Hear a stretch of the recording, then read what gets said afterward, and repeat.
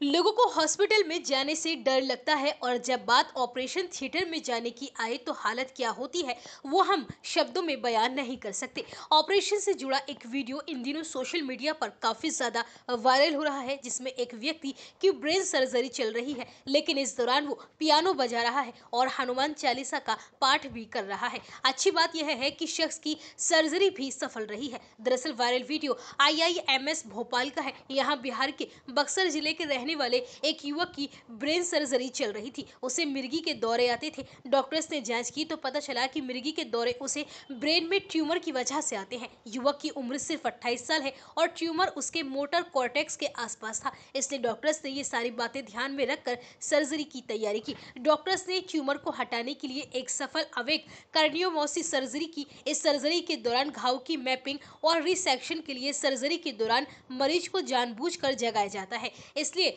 Viral video में देखा जा सकता है कि मरीज़ ऑपरेशन टेबल पर लेटा हुआ है और कीबोर्ड पर पियानो बजाता है, अखबार पढ़ता है, मंजीरे बजाते हुए हनुमान चालीसा का ज़ोर ज़ोर से पाठ भी करता है, जबकि डॉक्टर मरीज़ की आराम से सर्जरी कर रहे होते हैं। सर्जरी के बीच में डॉक्टर्स भी मरीज़ से बात कर रहे थे ताकि उसे किसी भी प्रकार का कोई तनाव महसूस न हो। आईआईएमएस भोपाल न्यूरो सर्जरी के associate professor doctor Sumit Raj ने इस बारे में बताया कि ट्यूमर को मरीज़ से सफलतापूर्वक हटा दिया गया है और मरीज़ फ़िलहाल पूरी तरह से स्वस्थ है। सर्जरी के बाद अभी तक उसे कोई साइड इफेक्ट्स भी देखने को नहीं मिले हैं। सर्जरी के बाद पेशेंट ने अखबार भी पढ़ा है। वहीं अब सर्जरी के दौरान हनुमान चालीसा का पाठ करते हुए इस मरीज़ का वीडियो सोशल मीडिया पर काफ़ी ज़्यादा वायरल हो रहा है और लोग उनके हौसले की जमकर तारीफ़ भी करते नज़र आ रहे हैं।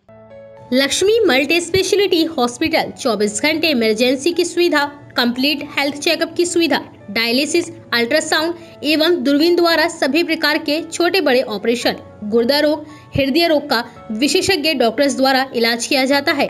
स्त्री रोग विशेषज्ञ हमारा पता है गंगानगर बुलंदशहर।